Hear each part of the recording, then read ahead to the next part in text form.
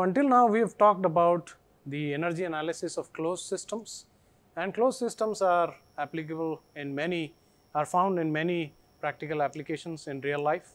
Uh, but now in this chapter, chapter 5, we will be looking at the mass and energy analysis of control volumes. In other words, systems that can have energy interaction because mass is entering or leaving the system, right? And such um, systems are to be found in everyday life. Um, the water heater that uh, is used to warm up the water for your bath in the morning is one such example. There are other examples such as pumps, turbines, um, compressors, diffusers, nozzles, throttling valves, everything that you might see around you or some of them that uh, you might not see because uh, they are they are not immediately in your surroundings, but they are present, right? So, open systems or control volumes as we like to call them are, are very practical, are found everywhere and so we need to know how to analyze the mass and energy and, uh, of, of such systems and this chapter is that is what it, this chapter is about. Um, before we begin uh, about energy, we need to look at mass and so we look at mass in the context of open systems, right. So, uh, we are talking about chapter 5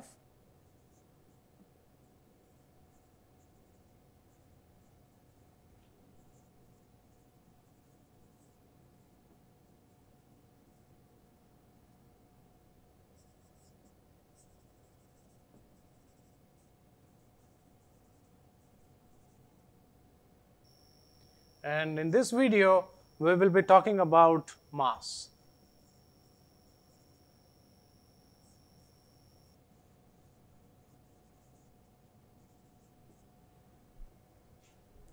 So, in closed systems it is obvious that mass is conserved and that the mass of the system cannot change, but in um, open systems or in control volumes we do know that mass can enter or leave and so we must account for mass entering and leaving a control volume. So, we will be looking at that specifically in this video. Um, also, uh, one thing to note is that mass can be inter interchanged with energy. So, mass and energy can interchange. So, and that equation is given by E equal to mc square, where uh, if a mass m is destroyed, then it results in an energy release of E and that uh, relationship between E and M is that E is equal to mc square. But this happens in very, very select applications such as nuclear reactors and so on. And so, we will not worry about this equation so uh, for, for this um, for this course and we will assume that mass is conserved. In other words, mass cannot directly be converted to energy and vice versa. So, we will always assume that mass is conserved, right. So, it is common knowledge that if I have a system, let us say I have a water tank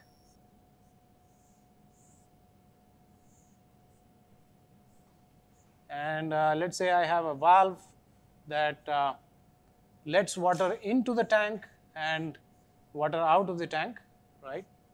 And uh, so, and let us say this is my control volume here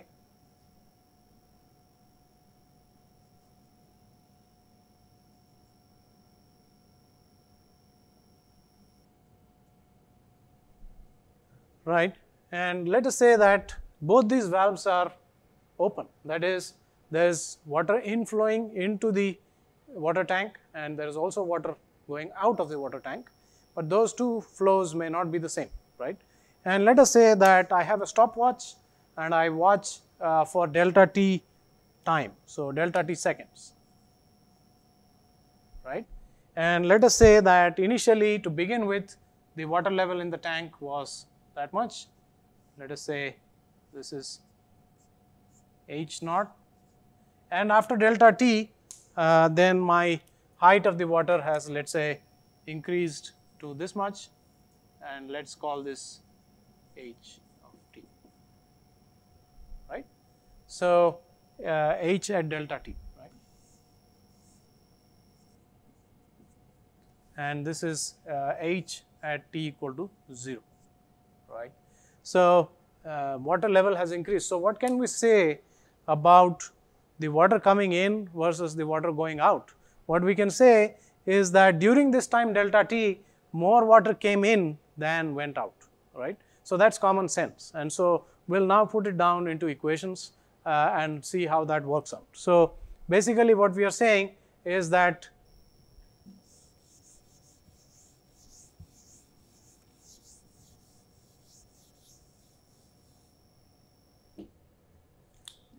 the mass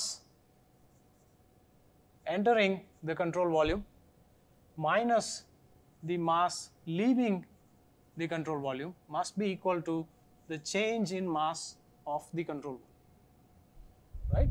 So, because mass is conserved, mass cannot be created or destroyed. Uh, we already talked about the fact that mass will be conserved as far as this course is concerned. And so, uh, m in minus m out must equal delta m CV. During this delta t period, whatever mass came in minus whatever left should be equal to the change of mass of the control volume, right. So, uh, this is what is entering the control volume that is m in, uh, what is leaving is m out and uh, what is inside is mCV and that is changing and so therefore, there is a delta mCV, right. And uh, if I differentiate this then I get m dot in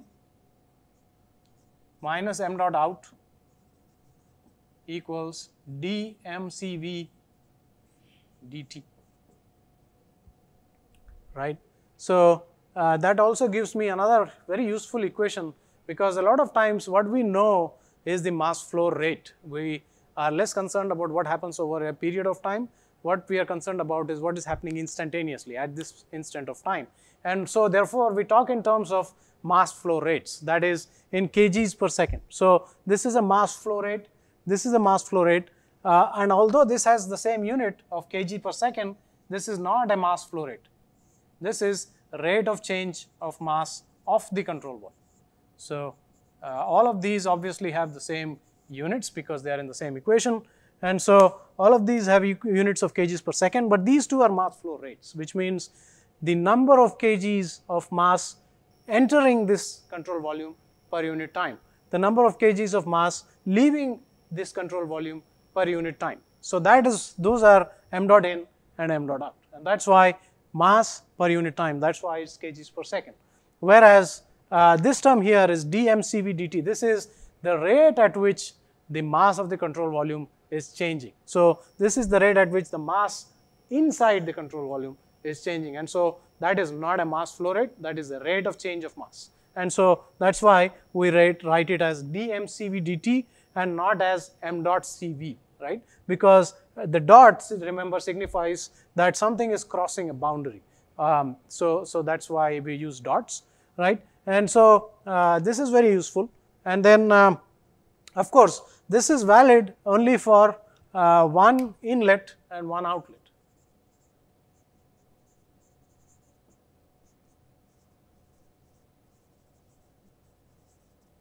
And so um, we do know from common sense that uh, suppose that I have instead of one entrance, I have let us say two different pipelines that can potentially deliver water into this water tank and uh, uh, perhaps more than one exit out of the water tank that can take water away from it, um, then I do know from common sense that I just have to sum all the inlets and sum all the outlets. So, I can write uh, as a general case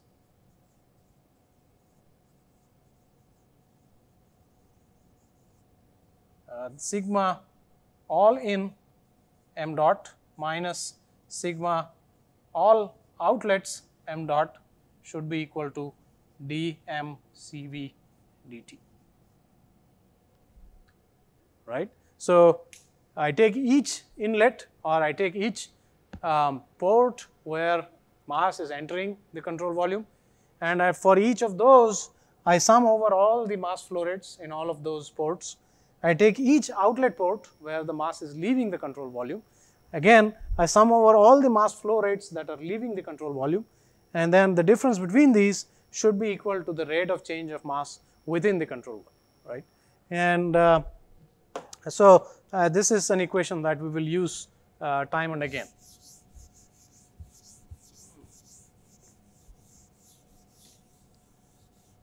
Sometimes um, we will have, uh, let's say I have uh, a tube, a pipe that is delivering uh, liquid into a container, right.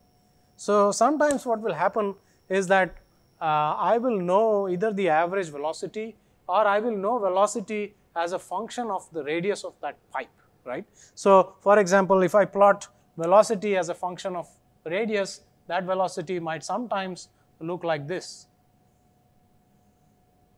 where the velocity is maximum at the center line of the pipe and minimum towards the edges and in fact goes to 0 right at the edge of the pipe where the water touches the pipe, right. So, this kind of velocity profile is very common although not always you will have this kind of velocity profile. So, what I will do then uh, I will have is then I will have a velocity v as a function of radius r inside the pipe or if it is some kind of a rectangular conduit then I might have v as a function of x, right. So, what I need to do then is to take an average velocity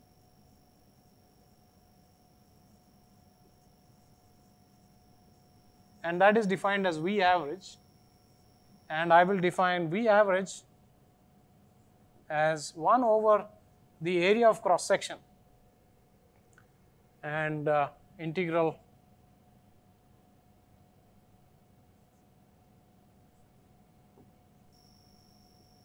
So, this is the area of cross section or the area of projection that is perpendicular to the flow that you are trying to calculate, right. So, uh, and so with this I can calculate the V average. Many times I will know V average directly, right. And then once I know V average, I can calculate the mass flow rate m dot as uh, equal to rho times V average uh, times um, the area of cross section, right. So, uh, that is uh, the density times the average velocity times the uh, projection area or the in many times the area of cross section, right? And that is m dot. And so coming back,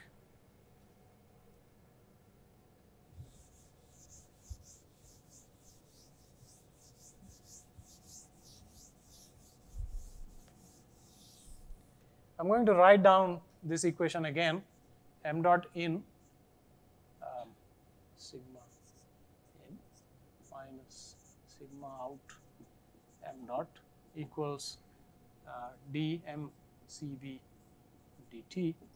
Um, when we talk of steady flow devices,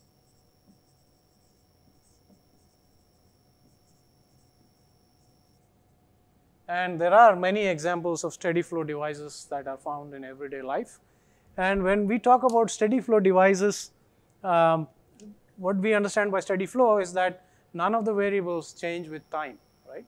And so all the time derivatives go to 0 and so there's only one time derivative in this equation and that goes to 0.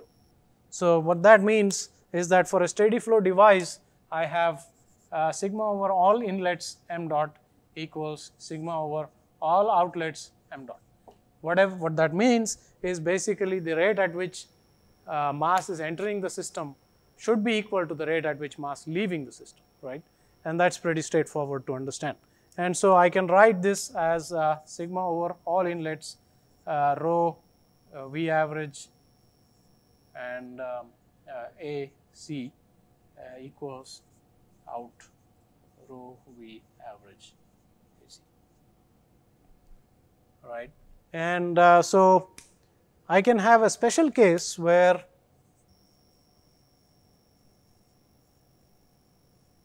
uh, fluid is incompressible.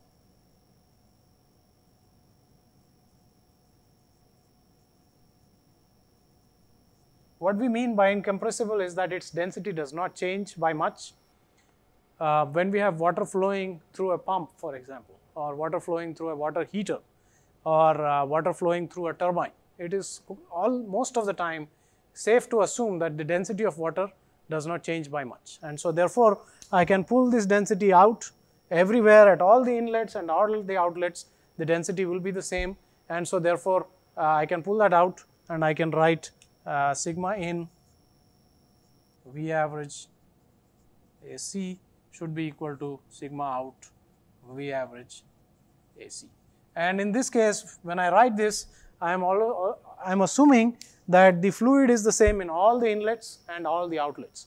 If the fluid is different, then I cannot obviously pull out this rho because this will not be the same for different fluids. So, for example, if uh, water and ethanol are mixing, then I cannot pull out rho and cancel it out because the rho of water is very different from the rho of ethanol or methanol for example, right. So, I cannot do that, but if the fluid is same and if the fluid is incompressible, then I can pull it out and equate this. Remember that the idea of incompressibility is not so much to do with the fluid, but the conditions at which the fluid is flowing. So, many times we might be able to get away with believing that air is incompressible. We might be getting away with believing that uh, flow like for example oxygen or nitrogen is incompressible. Uh, it's sometimes reasonable to assume that and sometimes it may not be reasonable to assume that water is incompressible. There may be some situations where water may behave as a compressible substance and so therefore, it is not so much the substance, but the conditions in which the fluid is flowing that we might be able to say the density remains constant or not, right. And uh, so, that is that. And then we also define one more variable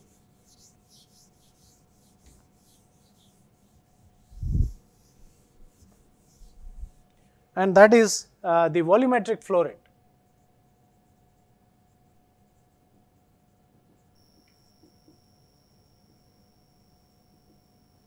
And uh, V dot is defined as m dot divided by rho, right. So, that in other words that is equal to V average times AC. So, uh, this is the volumetric flow rate and it has units of meter cube per second. This is meter cube per second. Right? And that is because I took kg per second and divided it by something that has units of kg per meter cube and so therefore I am left with meter cube per second, right.